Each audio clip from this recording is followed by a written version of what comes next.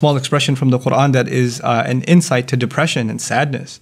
Allah Azza wa Jalla says, وَلَا تَهِنُوا وَلَا تَحْزَنُوا وَأَنْتُمُ الْأَعْلَوْنَ إِن كُنتُم مُؤْمِنِينَ Don't be, don't feel weak. Don't be weakened.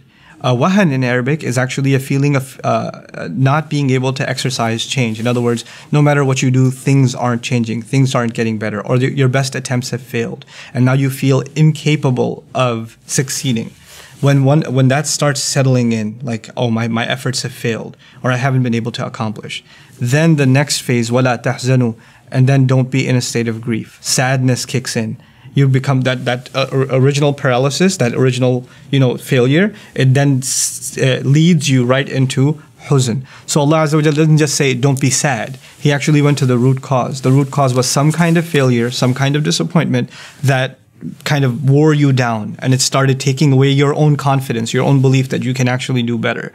You know, subhanAllah. So Allah Azza wa Jal, and He did this by the way, one of the places He did this is in the Battle of Uhud, where Muslims suffered amazing amount of loss, an incredible amount of loss. But He turned that loss into something positive. He actually in the very next ayah says, You know, if, if you've been injured, then so what? The other side's been injured too. وَتِلْكَ الْأَيَّامُ نُدَاوِلُهَا بَيْنَ النَّاسِ no, toughen up. These are days that flip between people. You're gonna be you're gonna have easy days, you're gonna have hard days.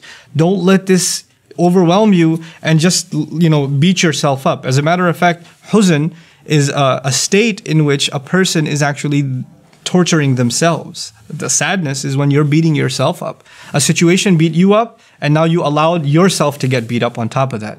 Allah says, don't put yourself in that position. You're going to be in the supreme position so long as you're, you're, totally, you're total believers. In other words, these situations, they come and go.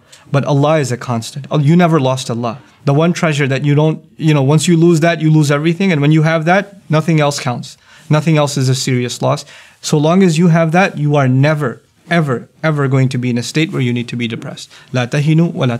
So, so beautiful. May Allah Azza wa make us a people who don't feel overwhelmed when facing facing failure. And may Allah Azza wa make us a people who can always stay away from, you know, this the, the shadow, the, the, the casting shadow of sadness that can take away all of the good, all of the positive that we have in our lives.